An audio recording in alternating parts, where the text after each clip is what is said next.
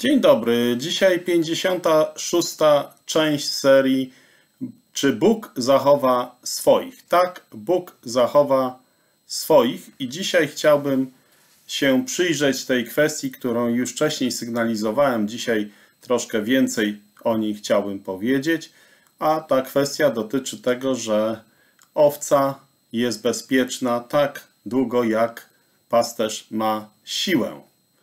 I zaczniemy od Ewangelii Jana, 10 rozdział, 27 werset. Owce moje głosu mojego słuchają, a ja znam je i one idą za mną. Ja daję im życie wieczne i nigdy nie zginą. I nikt nie wyrwie ich z ręki mojej. Ojciec mój, który mi je dał, większy jest od wszystkich i nikt nie może ich wyrwać z ręki mojego Ojca. Ja i Ojciec mój jedno jesteśmy. Takie słowa są zapisane w Ewangelii Jana, 10 rozdział, 27 do 30 wersetu. Każdy wierzący zna ten fragment na pamięć. Te słowa naszego Pana Jezusa dają nam pełne zapewnienie, że Jego owce nie zginą. Ale ktoś musi być owcą prawdziwym, wierzącym w Jezusa Chrystusa. Ten, kto twierdzi, że jest chrześcijaninem, ale niewiele lub wcale nie myśli o Bożych wymaganiach względem jego życia, może wcale nie być owcą. Pasterz zbyt wiele myśli o swoich owcach, aby stracić choć jedną. Ojciec dał je swojemu synowi, a on oddał za nie swoje życie. Oni mają życie wieczne. Nie byłoby to życie wieczne, gdyby zostali zbawieni tylko na pewien czas, a potem znowu stracili byłoby to wtedy życie tymczasowe. Prawdą jest, że dziecko Boże może zawieść Pana, który je kupił, ale to jest sprawa dyscypliny między ojcem a jego dzieckiem. Wierząca owca jest dzieckiem Bożym, które on kocha.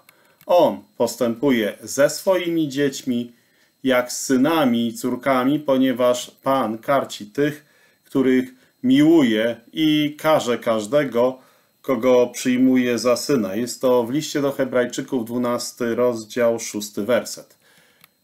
I teraz przechodzimy do ważnej kwestii wynikającej z tego. Społeczność jest czym innym niż poczucie bezpieczeństwa. Kiedy dziecko Boże grzeszy, jego społeczność zostaje zerwana, ale nie związek. Związek jest trwały. Czy posłużę się takim ziemskim przykładem?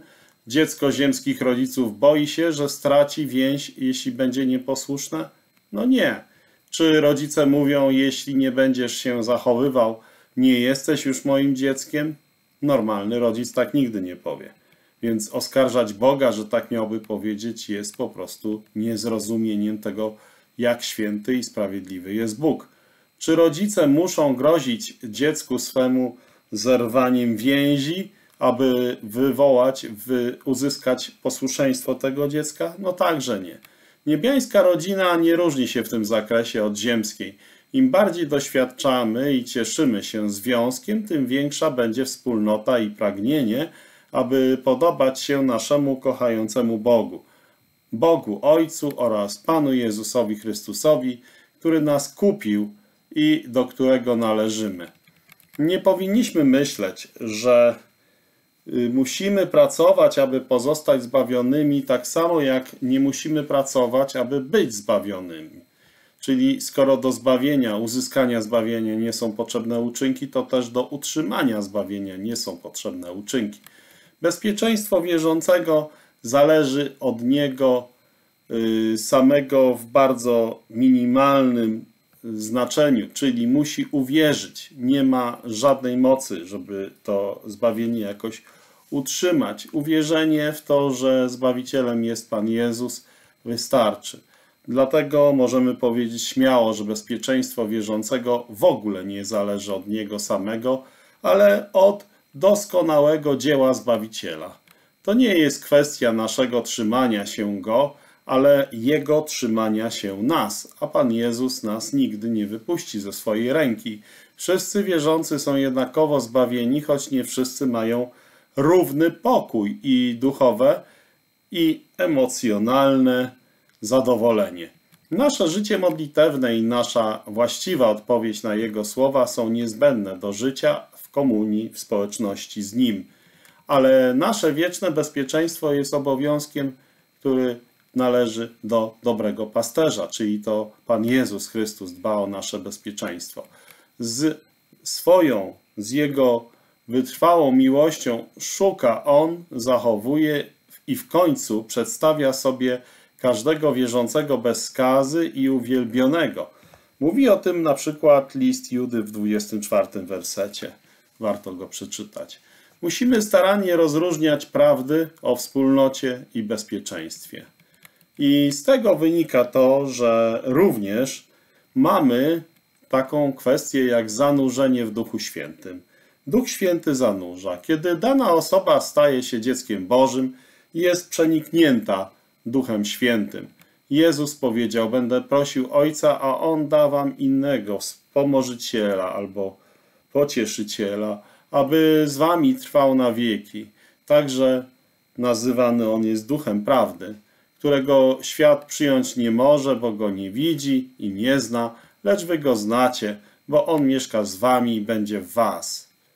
I to jest bardzo ważne, żeby to rozumieć, że każdy wierzący ma ducha prawdy i ten duch prawdy zabezpiecza jego interes. To jest Ewangelii Jana napisane w 14 rozdziale od 16 do 17 wersetu. I apostoł Paweł mówi nam, że zostaliśmy zapieczętowani Duchem Świętym, gdy uwierzyliśmy. I o tym przeczytać możemy w liście do Efezjan, pierwszy rozdział, 13 werset oraz też czwartym rozdziale, w 30 wersecie. I to oznacza, że możemy być pewni, że skoro Paweł mówi, że zostaliśmy zapieczętowani Duchem Świętym, to jesteśmy na zawsze bezpieczni. To się stało, gdy uwierzyliśmy w Pana Jezusa Chrystusa. I ważne jest też zauważyć, że żaden fragment Pisma Świętego w Nowym Testamencie nie wskazuje na to, że Duch Święty kiedykolwiek opuszcza wierzącego. W liście do Efezjan, o którym wspomniałem, czwarty rozdział, 30 werset, czytamy, że jest możliwe, że będzie on zasmucony. Nie zasmucajcie Ducha Bożego albo Bożego Ducha Świętego, przez którego zostaliście, yy, przez którego zostaliście opieczętowani na dzień odkupienia. Jest to odniesienie do odkupienia naszych ciał. Nasze dusze z kolei zostały już odkupione przez krew Chrystusa raz na zawsze, ale nasze ciała zostaną odkupione, gdy zostaniemy wskrzeszeni z martwych, w czasie zmartwychwstania i przemienieni podczas pochwycenia w trakcie przyjścia Pana Jezusa po chrześcijan.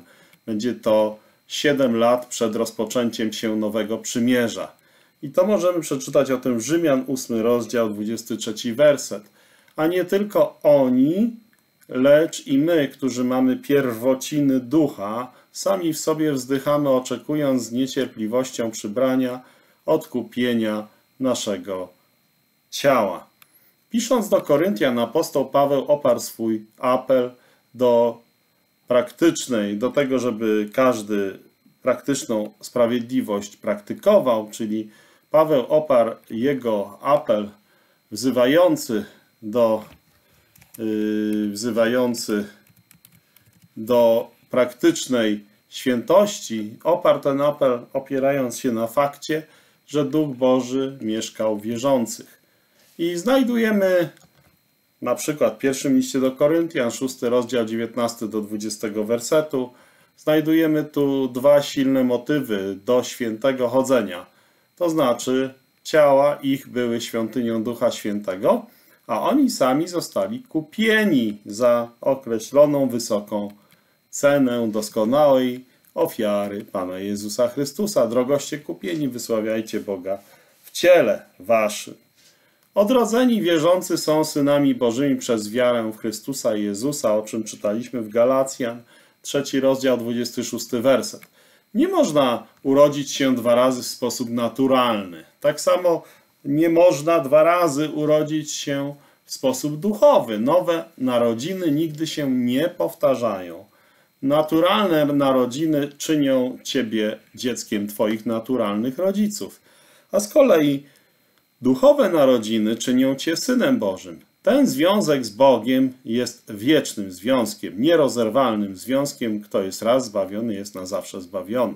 Kiedy chrześcijanin upada, grzeszy, nie traci relacji dziecka z ojcem, ale traci radość z tej relacji.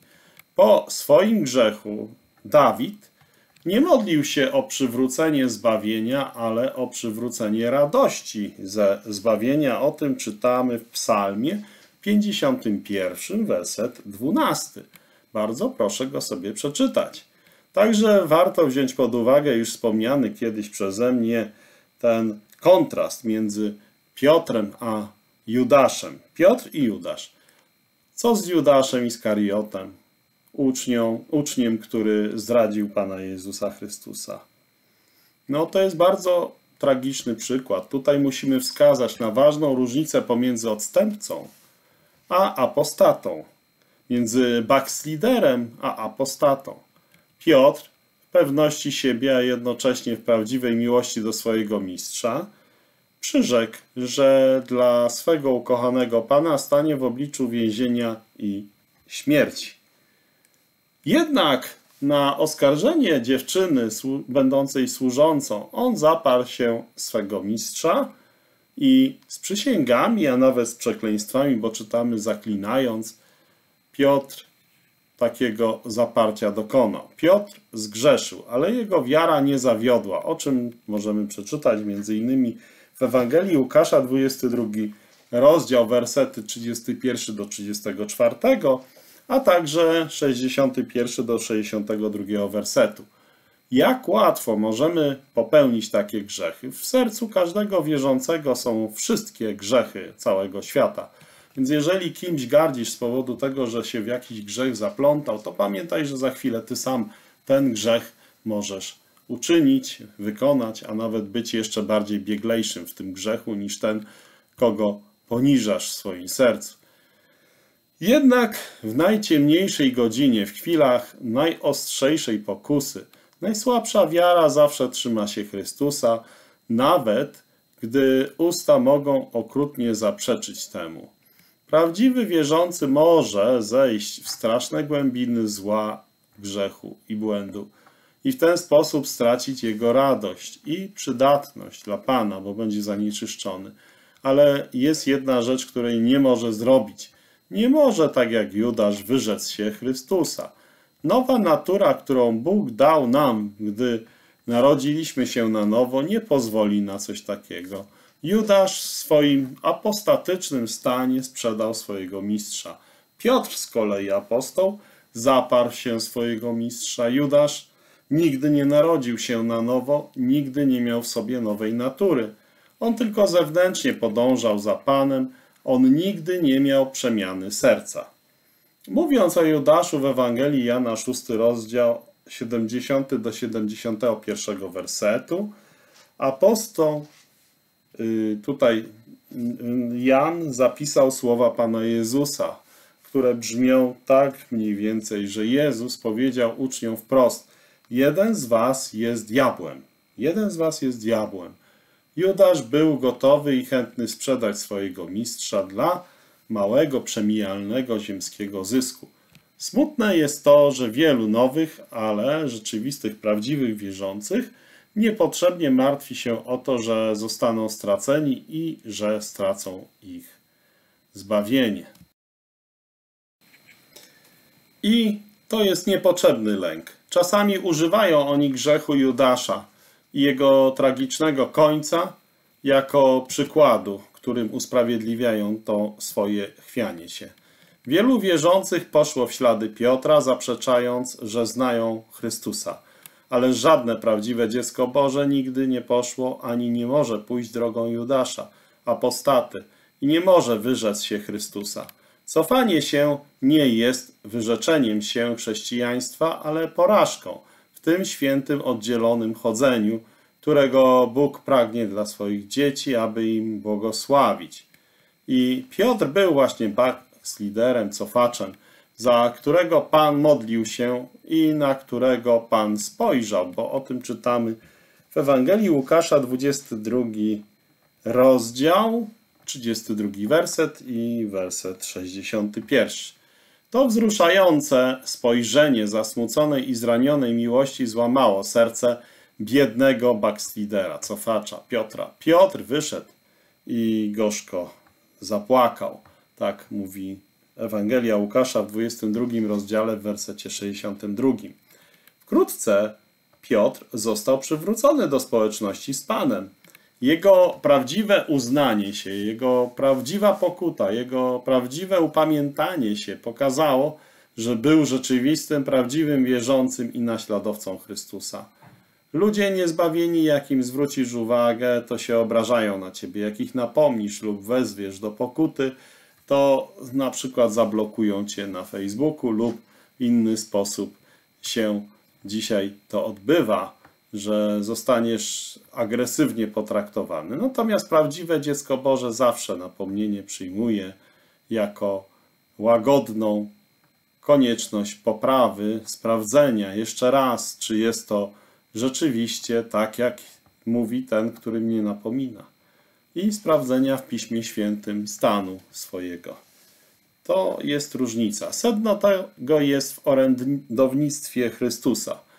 Z Ojcem. Pan Jezus Chrystus oręduje z Ojcem dla przywrócenia właśnie cofaczy, backsliderów, opisanych w pierwszym liście Jana, drugi rozdział, pierwszy werset. Tam mamy wyraźnie to powiedziane, że takie orędownictwo się odbywa. Ale o apostatach jest napisane niemożliwe jest bowiem, jeśli by odpadli, odnowić ich na nowo ku pokucie. O tym mówi list do Hebrajczyków, szósty rozdział, 4 do 6. To jest bardzo ważne, żeby to rozumieć. Prawdziwym wierzącym jest ten, kto nie tylko skosztował, ale w duchowym sensie przeszedł do spożywania ciała i picia krwi Syna Człowieczego. Prawdziwej, przywłaszczającej sobie wierze. O tym czytamy w Jana 6 rozdział 53 werset. Możliwe jest, że ktoś skosztuje i zginie, o czym mówi Hebrajczyków 6 rozdział. Ale jeść to znaczy żyć na wieki, o czym mówi Ewangelia Jana, 6 rozdział, 51 werset i 58 werset. Owca Chrystusa może błądzić, ale pasterz owiec przyprowadzi ją bezpiecznie do siebie. Judasz nie był prawdziwą owcą Chrystusa, był wilkiem w owczej skórze. On świadomie zgrzeszył i tak przyniósł na siebie straszny wyrok ognistego oburzenia, zapisany w liście do Hebrajczyków, 10 rozdział, 26 do 29. Ten wyrok, który nie może dotyczyć nawet najsłabszego wierzącego, dotknął Judasza z pełną surowością. W pewnym sensie Judasz został uświęcony, wyodrębniony, tak jak wszyscy, którzy wyznają zewnętrznie Chrystusa – uczestniczą w tym ogólnym uświęceniu. To ogólne uświęcenie obejmuje wszystkich, którzy są zewnętrznie oddzieleni od chrześcijaństw, do chrześcijaństwa, oddzieleni do jedynej, w cudzysłowie, religii, która zapewnia, że zna Zbawiciela. Kiedy nie ma prawdziwej zmiany serca, to to zewnętrzne oddzielenie od Boga zostaje porzucone. To jest właśnie uświęcenie, o którym mowa w liście do Hebrajczyków, 10 rozdział, 29 werset. Termin grzeszyć rozmyślnie z tego rozdziału 10, 26 wersetu, rozmyślnie, to świadomie sercem i umysłem wyrzec się Chrystusa i stać się Jego przeciwnikiem, i to takie coś skutecznie depcze Syna Bożego, czego tutaj się możemy dopatrzeć w informacji z 29 wersetu 10 rozdziału Hebrajczyków. To właśnie zrobił Judasz, gdy sprzedał swojego mistrza w ręce tych, którzy nienawidzili Jezusa i próbowali go zgładzić, zniszczyć, zabić. Przykład tego ogólnego uświęcenia widzimy m.in. w pierwszym liście do Koryntian, siódmy rozdział, czternasty werset. Tam jest opisane, że niewierzący partner jest w specjalnym miejscu błogosławieństwa, wyodrębnionym z powodu jego lub jej związku z wierzącym. Wierzący partner modli się za drugą osobę i również daje świadectwo tej osobie. To są błogosławieństwa dla niezbawionego partnera, nawet jeśli on lub ona nie zdaje sobie z tego sprawy.